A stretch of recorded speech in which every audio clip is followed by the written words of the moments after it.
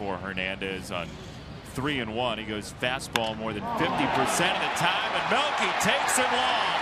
Way back and out of here.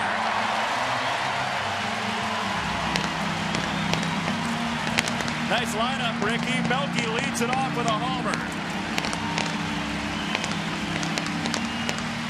That was a no-doubter. He's looking fastball all the way. He got a high fastball just barely at the top of the zone.